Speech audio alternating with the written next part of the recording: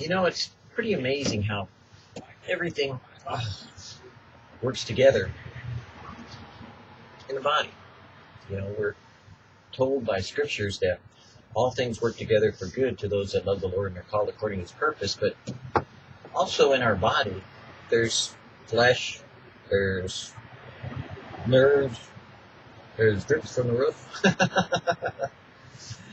there's the cold, there's our fingers, there's our skin, there's bone, there's blood supply, there's nerve endings, there's all these things that come together to cause us to be who we are. Sometimes those things get out of kilter, and I know today, for me, ouch! I threw my back out. So what am I doing sitting? It's like I should be laying down in a bed, you know, flat prone, you know, and trying to get the muscles to, you know, stretch out, you know, and then to get the other muscles to, you know, tighten up where they're supposed to be to hold the muscles in place so that they hold the vertebrae in place. And yada yada. but sometimes we cause those things to happen ourselves. Like for me, my wife says, you know, that I, when we went out dancing, you know, we always go out dancing on the weekend. That when I went out dancing, that with her, that I danced more this time than I usually do. I'm kind of old, so I get winded real easy. I'm a pretty good dancer. I uh, admit that I don't quite give in to my age as I should. So I get winded easy. So, you know, I dance a dance, you know, and then rest, and then dance one and rest, dance and rest. And uh, apparently, also over the weekend, my uh, office chair that I used to have broke. So I had to get rid of it, and I didn't have a chair that supported my back. So I'd been working a little bit, working on things, you know, on the internet and the websites, and trying to get this uh, portal done for Biblical Christian Network. And uh, between the combination of all these things and not taking care of my back, I threw my back out again. And uh, it's amazing how easy that is to do when you get older. Is that if you are not on a consistent exercise program where you tighten up your abdominals, your back will go out regularly. Or if you have, you know, God forbid, but you know, if you if you put on a few pounds like most of us do when we get older and haven't kind of like gotten the muscles to, you know, compensate for it, you go your back out pretty easy. And uh, I went out and bought a chair and I was just lifting, well, maybe 10 pounds, but I had to reach far forward and when I lifted it up, bingo, back went out. So, a little bit touchy today, you know. The pain is considerable and, you know, I don't have any pain meds, so we tough it out. But the amazing thing is that in order to compensate for your back, you tighten up your abdominals, which is interesting to me because if you know, you know, the muscle system, then it's, to you it's no problem. But most people don't realize that because they don't study medicine or they don't have a concept that all these things work together, that you have to have blood flow to the muscles, that you have to have return from the muscles, because the muscles sometimes excrete, you know, from the cellular level, all this gook, you know, that's maybe you could say CO2 or something, but, you know, whatever it may be. But um, has to dispensate things or dissipate that, and it gets into the blood system, and then goes to your kidneys, and you get rid of it, and you urinate, whatever. But the point being is that if it's not all working together, you'll throw your back out. That's kind of what God does, you know, in the body of Christ, is that we should all be working cooperatively together, and often you'll see things not working the way they should. Because sometimes somebody will have something off kilter or out of sync, you know, and it's not working coordinated together. But God can use that anyways, because He seems to have the ability to take that which is crooked and make it straight, and that which is straight and make it crooked. Even the scripture says that. Who can make straight that which he has made crooked, and who can straighten that which he, who can make crooked that which he has made straight? Good question. God did it. I don't think anybody can.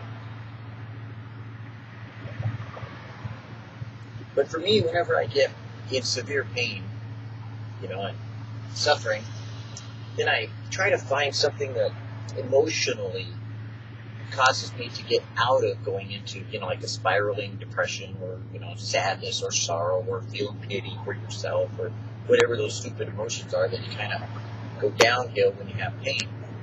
And one of the things was to dig out my, my sweats. How do you like them? Red green. My wife says, you look like a Christmas tree. I said, now wait a minute. This is probably a soccer sweat, you know, from overseas because I bought it in Jerusalem.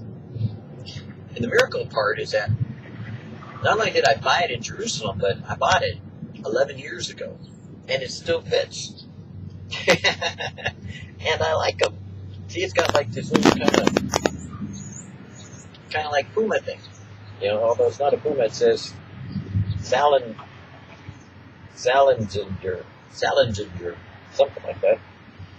But I know I was so thrilled at the time when I was in the market in the old city in Jerusalem, you know, and I saw all these things I wanted to buy. Like I wanted to buy, you know, these shirts that were, you know, real thin, you know, because over there, you know, material you wanted to wind to blow through, you know, because it's so hot.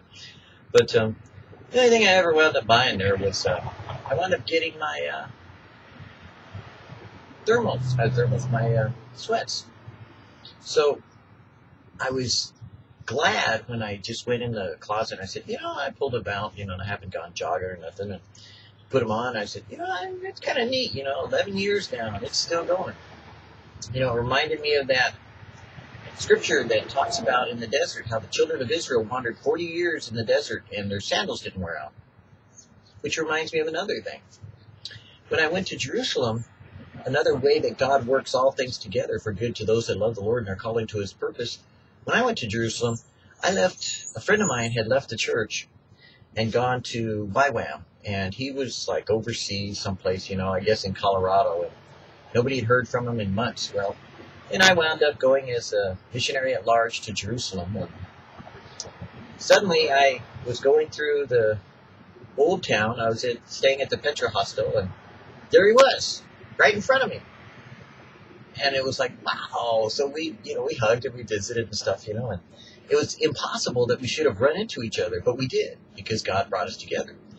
And it was amazing, you know, to because he didn't know that I was going to Jerusalem, and he didn't know that he would wind up there, and we wound up there, and we, you know, had some adventures together. And it was great for a couple days, anyways. And believe me, a day in Jerusalem is like a year in the outside world. Things happen fast, and tons of things going on constantly. People from all over the world. I mean, it's like the center of the world is right there in Jerusalem.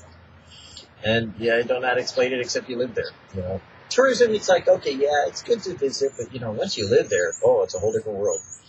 But anyways, so when we visited, when before we parted company, I gave him my fedora. I had a fedora hat that was really nice, you know, and uh, pretty special to me. And he gave me these sandals that were, you know, pretty cool. You know, and I didn't know how cool they were. And, you know, we, we blessed each other and blessed the gifts, you know, and thanked each other and stuff. And I still have the sandals. And you go, well, okay, so you put them in a closet.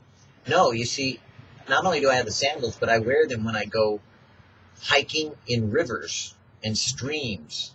They have been in the ocean. They have been in the streams. They have been all over the place, in mountaintops, in Alaska. They have been in places that you would not take sandals and wear them.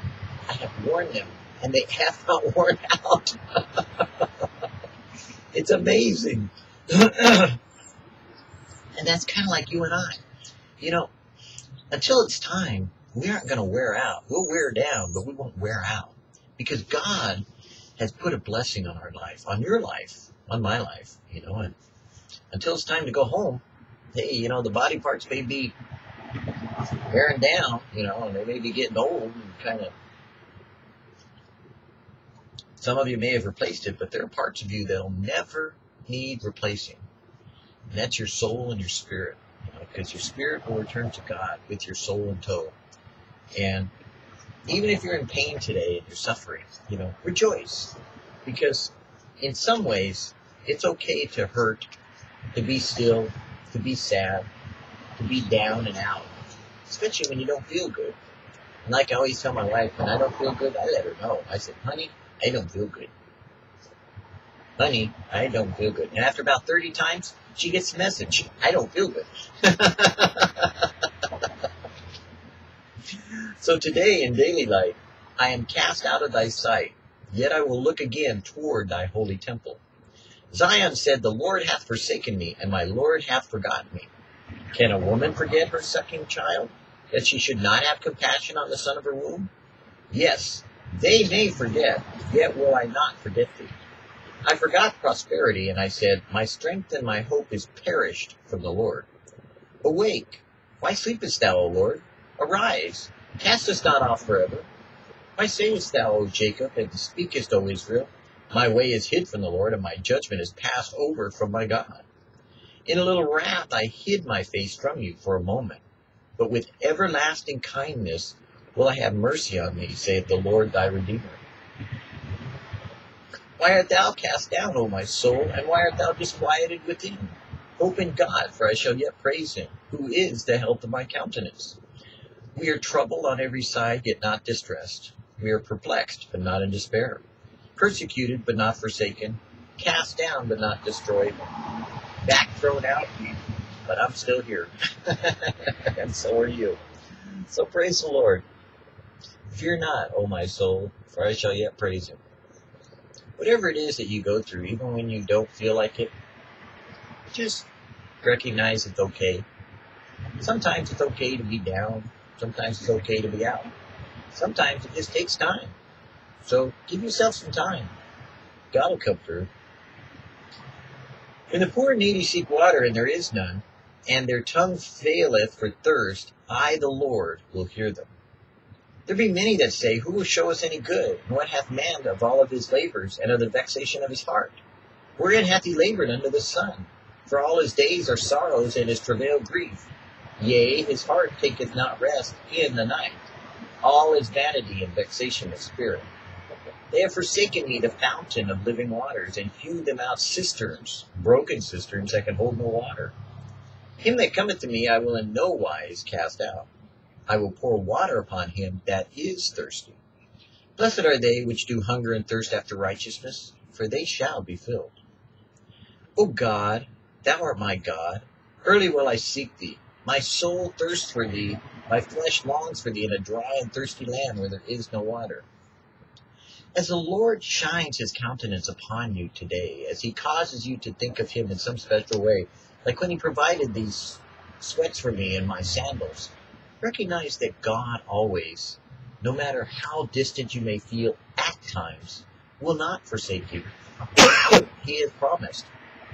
He will comfort you, even as I know my back will heal. Once you've been through enough circumstances with God, then begin to recognize that because He's brought you this far, He's taking you all the way. So don't panic and don't worry and don't say, Where is the Lord my God who giveth songs in the night? But rather, take a moment or two and give yourself the opportunity to suffer, because you will. Pain is meant for suffering. It reminds us to slow down and not try to dance too much like I did, or do too much like I do. But it tells us that it's okay to be still, to calm down, to quiet down, to relax, as it were, and to let God be in control. Which is hard for us to do. And recognize that He's got the whole world in His hands and you don't. you just need to find yourself in His plan as one part of the body, not the entire body.